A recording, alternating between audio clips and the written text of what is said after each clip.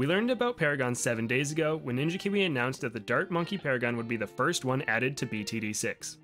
But we just got news today that Ninja Kiwi will also be adding the Boomerang Paragon in the next update. For those of you who don't know, Paragons are what you get when you merge three tier 5s of the same tower.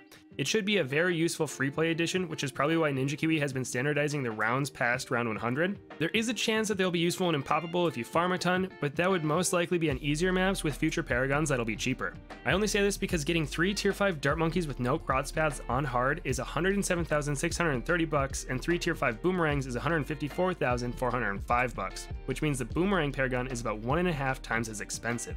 So to answer their tweet, I assume the Boomerang Paragon will be a bit better as bouncing permacharged MOAB dominating boomerangs sound pretty nice, but a crossbow master that shoots plasma juggernaut balls of death doesn't sound too bad either.